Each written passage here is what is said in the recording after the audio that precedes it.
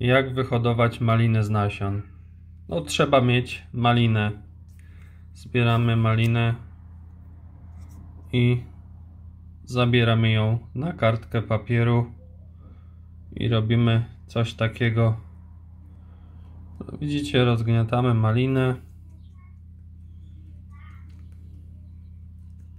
Później czekamy, aż ona na tym papierze wyschnie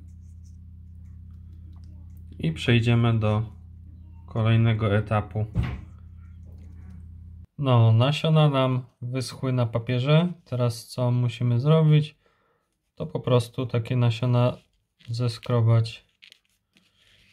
No i mamy wszystkie zeskrobane. Co należy zrobić? Tutaj mamy doniczkę z podstawką. Ja mam taką z osłonką, ale no po prostu wysypujemy te nasiona na doniczkę z ziemią uniwersalną. Trochę przemieszamy.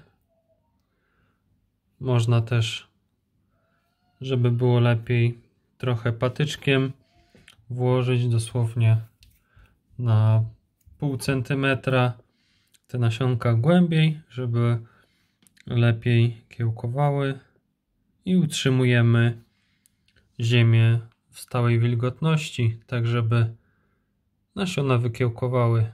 Efekty macie w dalszej części filmu.